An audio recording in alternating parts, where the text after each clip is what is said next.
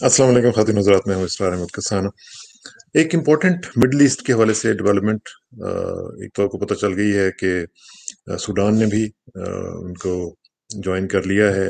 जो Israeli band wagon चल रही थी, उसके ऊपर वो भी चढ़ गए और यूएई और बहरीन के बाद अब सूडान तीसरा मुल्क बन गया है, जिसने इसराइल को तस्लीम कर लिया है। ज़ाहिर है, उनके भी अपने प्रॉब्लम्स थे, वो चल रहे थे।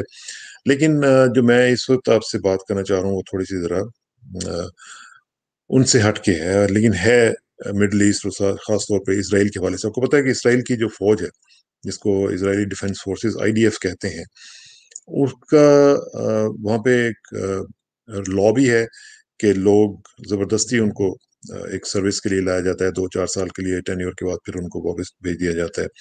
तो अब उसमें एक प्रेशर था कि लोग अब वहाँ पे आना नहीं चाह रहे थे, क्योंकि जितना जुल्म ये कर रहे हैं तो हर शख्स जो है वो उस तरह का जुल्म बर्दाश्त नहीं कर सकता और जुल्म होता हुआ देखना भी जो है, ये भी एक बहुत बड़ी बात होती है।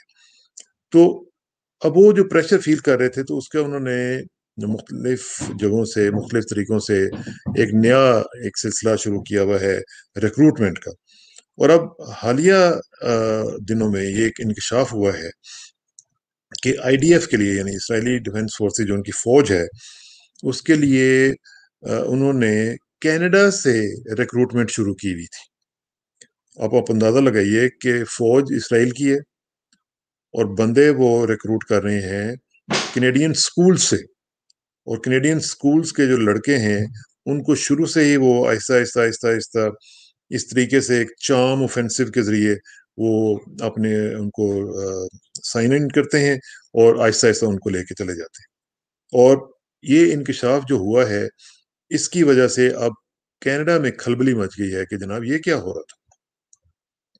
अब हुआ ये है कि उन्होंने जब ये पता चला कि जनाब ये फनल कर रहे थे जो टोरंटो के खासतौर पे जो स्कूल्स हैं, उसमें से उनको लेके जाते थे और जो अपनी एक एक ब्रूटल ऑक्यूपेशन फोर्स है इनकी, उसके अंदर उनको डाल रहे थे। अब कनाडा का जो लॉ है वो इसको इलीगल करार देता है कि आप कोई भी रिक्रूटमेंट करें किसी गैर मुल्क के लिए। तो ये बिल्कुल एक वाज चीज़ है, जो कि एक गैर कानूनी चीज़ हो रही थी। अब वो क्या कर रहे थे कि एंटाइस कर रहे थे उन बच्चों को, जो कि इम्प्रेशनेबल एज होती है, जहाँ पे आप छोटी सी भी कोई बात करते हैं तो बच्चे उसको मान जाते हैं, क्योंकि इम्प्रेशनेबल होते हैं और जो भी बात करते हैं वो उसको तस्लीम कर लेते हैं। अब वहाँ पे उन्होंने उनको इंटाइस करना शुरू किया और आहिस्ता आहिस्ता उनको रिक्रूट करना शुरू कर दिया। अब जब ये पता चला लोगों को तो एक ओपन लेटर लिखा गया है, तकरीबन डेढ़ सौ लोगों की तरफ़ से और उसमें नाम देखें कौन कौन से हैं। सबसे बड़ा नाम जो है वो नोम चॉम्स्की का है। आपको पता है कि कितना बड़ा नाम, कितना बड़ा इंटेलेक्चुअल और कितने बड़े एंटी वॉर इंटेलेक्चुअल हैं वो, नोम चॉम्स्की। इसके अलावा रॉजर वॉटर्स इसके साथ साथ फ़िल्म मेकर जो है उनके कैन लोच ये बड़े मशहूर फ़िल्म मेकर हैं।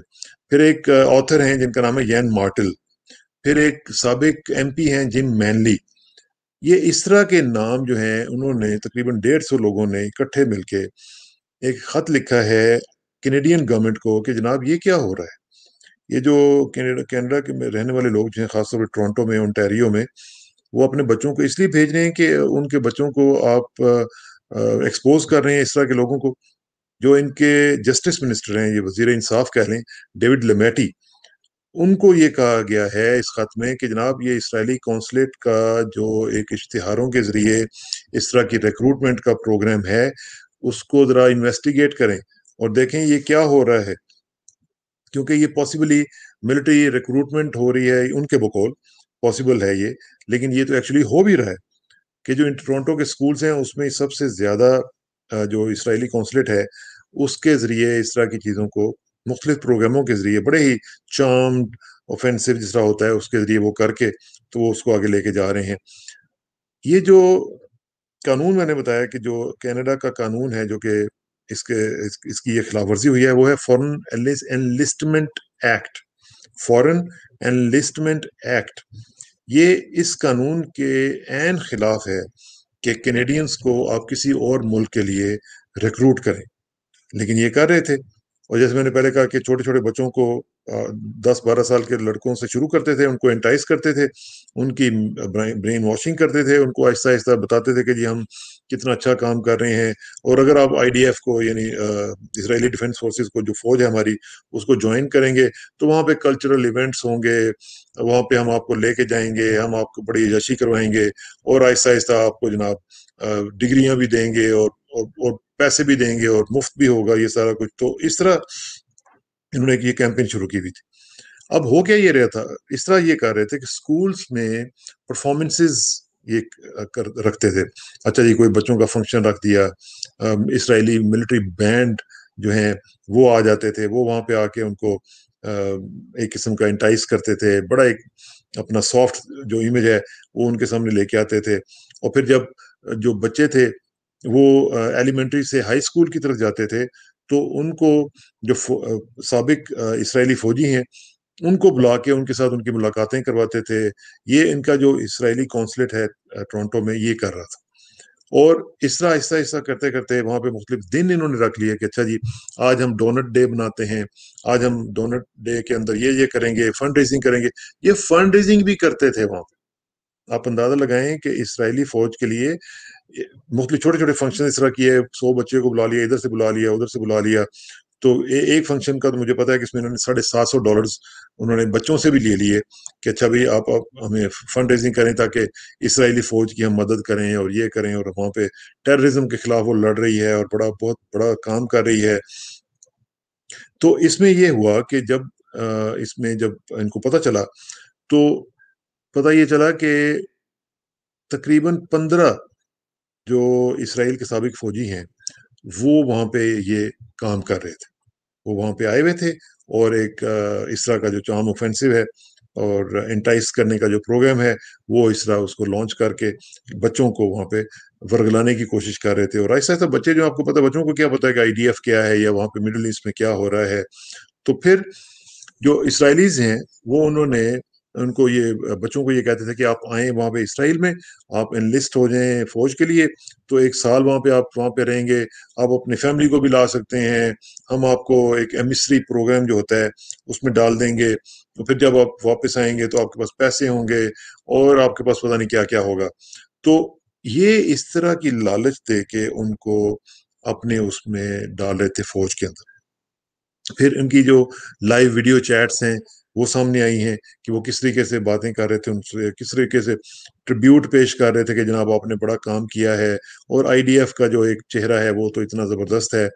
फिर मौसीकी के ज़रिए एक आईडीएफ ने अपना एक ऑर्केस्ट्रा बनाया हुआ था। वो अपना ऑर्केस्ट्रा भेजते थे। आपको पता है ये लोग कितनी जल्दी म्यूज़िक के अंदर अपने आप को फंसा लेते हैं।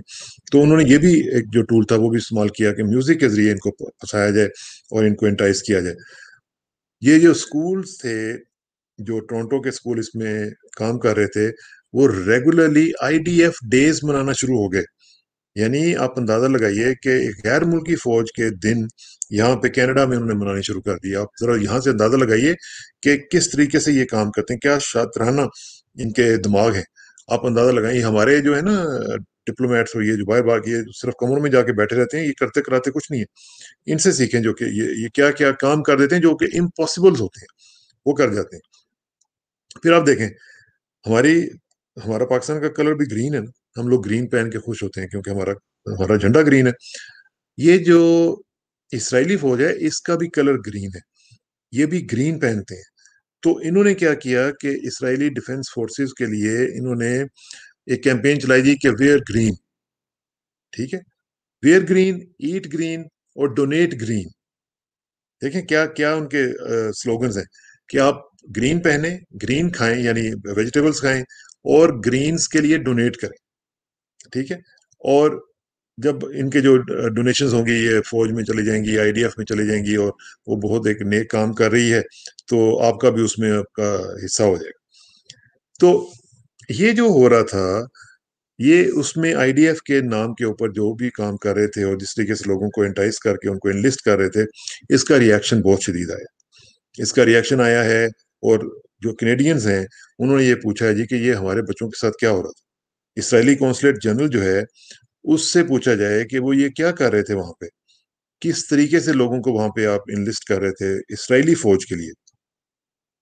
वहाँ पे आके इसराइल के जो एक्टिव ड्यूटी सोल्जर्स हैं आईडीएफ के, वो भी एक स्कूल जो था बने अकीवा उसमें आके उन्होंने वहाँ पे तकरीरें की हैं।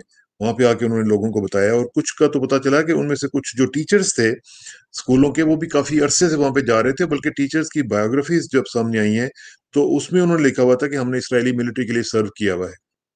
आप देखें कि कितना बड़ा, ये कितने लेवल पे जाके ये काम कर रहे थे। फिर स्लोगन्स इनके थे कि love the IDF I love the I D F Israeli defence force को मैं बहुत प्यार करता हूँ या करती हूँ। तो इस तरह के जो चक्कर थे, वो इस तरह के इन्होंने चलाए हुए थे और आहिस्ता आहिस्ता अब ये जो सूरत हाल थी, ये इतनी बढ़ गई कि नोम चोम्सकी जैसे लोगों को इसमें आना पड़ा और उन्होंने ये आके पूछा कि जी, ये क्या हो रहा है और किस तरीके से हो रहा है? आप इस तरह के कोर्सेज कैसे आप ऑफ़र कर सकते हैं कि जी छः महीने का कोर्स आप करें और प्रेपरेशन प्रोग्राम करेंगे? हम इस तरह के ऑफ़र कर रहे हैं फॉरेन नेशनल्स के लिए और आप वहाँ पे आएँ और वहाँ पे आके आप ट्रेनिंग लें और आपको ये मिलेगा, आपको वो मिलेगा। तो ये तो बहुत ही बड़ा एक क्राइसिस जो है वो कनाडा में जो है वो शुरू होने वाला है, क्योंकि लोग ये कह रहे हैं कि लीगल क्वेश्चन जो हैं, वो तो चले हो जाएँगे, लेकिन ये पूछा जाए इन स्कूलों से कि ये जो आप पिछले 53 ईयर्स से जो एक ऑक्यूपेशन जो इलीगल और ब्रूटल ऑक्यूपेशन इसराइल ने की हुई है उसको सपोर्ट करने के लिए, उसको तकबीयत देने के लिए कैसे आप फनल कर रहे थे यंगस्टर्स को? किस तरीके से जो कैनेडियन लोगों के बच्चे हैं, उनको आप इसमें लगा रहे थे? इसका जवाब दिया जाए, ये इसका जवाब जो है आप कैनेडियन गवर्नमेंट को ट्रूडो गवर्नमेंट को देना पड़ेगा कि ये किस तरीके से हो रहा था और क्यों हो रहा था?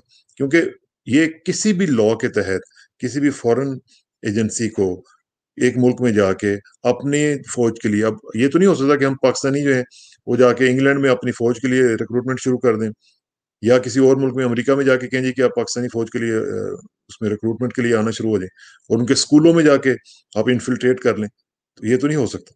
लेकिन ये हो रहा था। ये इसराइली फौज के लोग जो थे, वो यहाँ पे कर रहे थे।